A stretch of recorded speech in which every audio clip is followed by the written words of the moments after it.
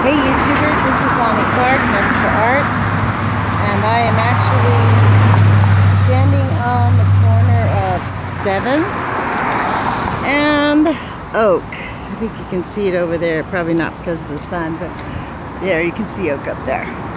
And Harris Hall is right down the street down there. That's where Harris Hall is. Follow that sign and take a left into the courtyard and it's that first room to the right.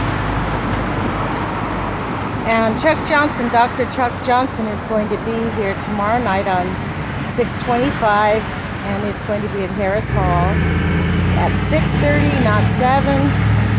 Dr. Chuck Johnson is with the Oregon Physicians for Social Responsibility and I am standing on the street corner advertising this in front of all these people so that they will actually come and show up and hear the information and get actively engaged in shutting down the Columbia Generating Station.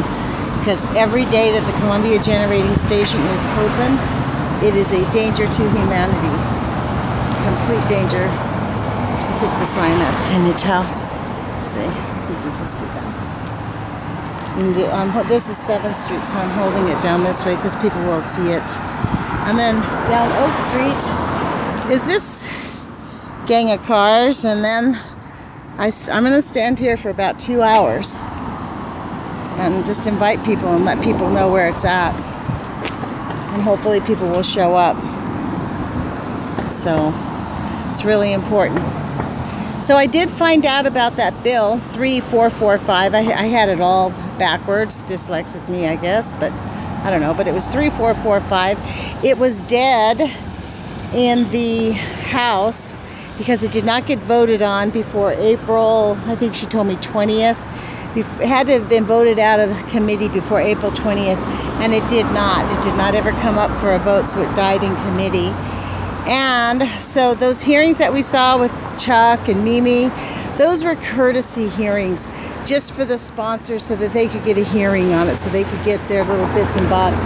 So basically, so that the fucking nuclear cartel could put it into the state legislature how great fucking nuclear is and how these little mini modules are going to be totally fucking great for the world. And that's what that was all about. That's why they turned the lights out on Mimi. That's why Chuck had to behave himself and couldn't tell them they were a bunch of fuckheads for thinking of it and not dealing with this business up at the Columbia Generating Station. I mean, they found this information out, and why isn't the state acting on it? Why aren't we demanding that the state act on it? That's what we got to do. Find a some kind of a thing. Here comes Tom. And here comes Jana out of the depths of the darkness. Here they are. They made it. Here are my supporters. Hi, I'm videotaping this. Oh, yay. Yay, that's Jana. So, Jana, can I ask you three questions? Yeah, ask me three questions. So, the three questions are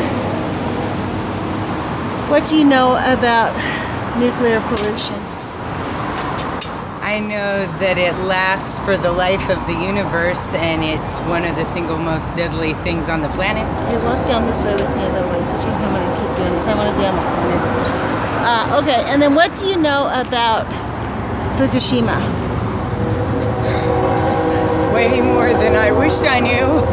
uh, I know that it's a really super serious situation that's spreading nuclear radiation across our planet, invisible poison that's making people sick without even knowing it.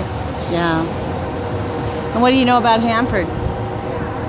I know that they've buried massive amounts of nuclear waste in unlined trenches that's leaking into the river and the power plant next to it is built on a, a fault line that could easily end up Columbia Generating Station, as a matter of fact. That's it, CGS. That's what this is about, urging everybody to get involved to get this closed up.